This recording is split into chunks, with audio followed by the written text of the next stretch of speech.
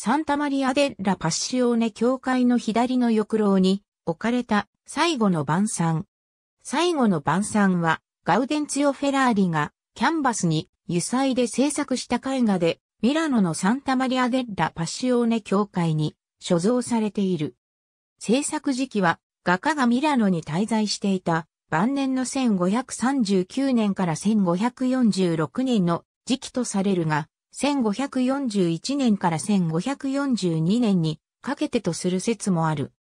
この最後の晩餐で画家は最も称賛されているレオナルド・ダ・ヴィンチの最後の晩餐さえも超える根本的な革新に取り組んでいる。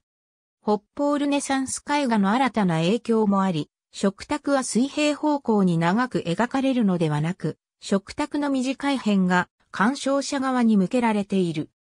食卓の周りには人たちがひしめき、その空撃の先にあるイエスの姿へと視線が導かれるが、図像学の伝統に従って、その傍らには福音記者ヨハネがイエスの肩にもたれかかって眠っている。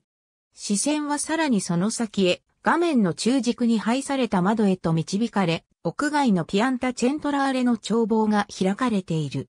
画面の周囲には、画面の上段から下段まで様々なところに食べ物を運ぶ召使いたちが描かれている。色彩はきらびやかで、特に衣装や建築、まだらの大理石による格子模様の床などにマニエリスムの影響がロンバルディア派の自然主義的作風と結びつけられていることが見て取れる。これらは16世紀後半の対抗宗教改革の流れの中の絵画の先駆けとなった特徴であった。ありがとうございます。